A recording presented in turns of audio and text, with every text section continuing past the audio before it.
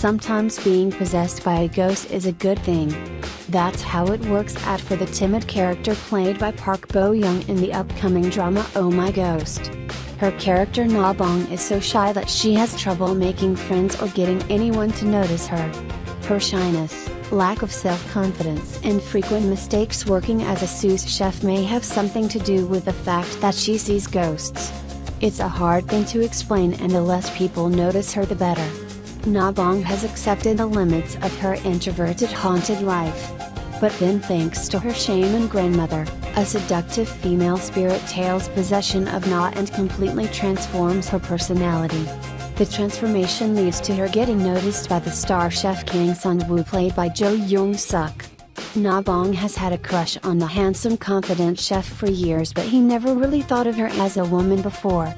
He has many female admirers but his heart belongs to his lost first love. Is that the spirit possessing Park Bo Young's character? Whether or not it is, he is suddenly paying attention to her. And that can make things complicated when you are working together in a kitchen. What could complicate things further is the fact that Kang Sun Woo does not believe in ghosts. Oh My Ghost takes over the TVN Friday and Saturday 2030 time slot previously occupied by Ex Girlfriend Club.